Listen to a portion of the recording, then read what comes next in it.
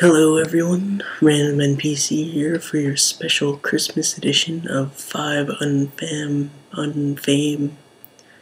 Uh, this is my cat.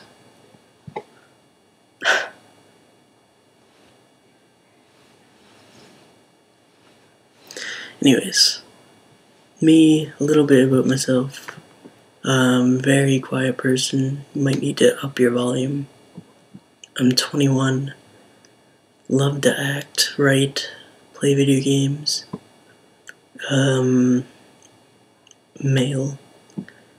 Very often mistaken for a girl from behind. Semi often mistaken for a girl from the front. No joke. Just a very petite man. Um,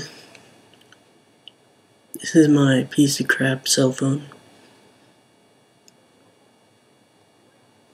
It's just Samsung piece of crap. Doesn't work. No fancy smartphone or whatever. Uh, it's my first time doing this, so I wasn't sure what to say. But uh, Tuesday posted about his audition, and it got me thinking about the reception of entertainment based on its medium. Uh, not long ago, I caught somebody slagging off games being a book elitist, and um, as far as pure story goes, people look down on games compared to movies, movies compared to literature, which is just ridiculous you know, just because something's a book doesn't necessarily make it superior to all games or movies. And it's bizarre to say a story's medium affects its overall worth. There's tons of poorly written books, and of course, the same goes for movies and games. It's, it's not as bad for movies anymore. They're becoming a much more accepted form of storytelling. But uh, games don't really get a lot of respect.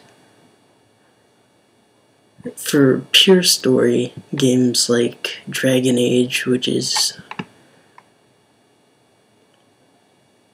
uh, what Tuesday was auditioning for, Metal Gear Solid. It's actually an actiony shooter and it still has a completely enthralling story. Um, cinematic action. You've got Metal Gear Solid again. It had like Metal Gear Solid 4 had nine hours or so, and the writer slash director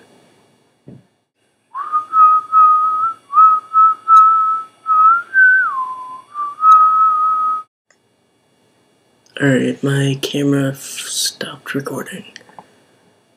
Um, where was I? The director studied to work in film, and uh, the camera work is incredible. And when I say cinematic, I mean cutscenes where they cut away from the gameplay and you're just watching a movie. It had like nine hours of movie cut up in between segments of interaction. That's to me that's that's a lot.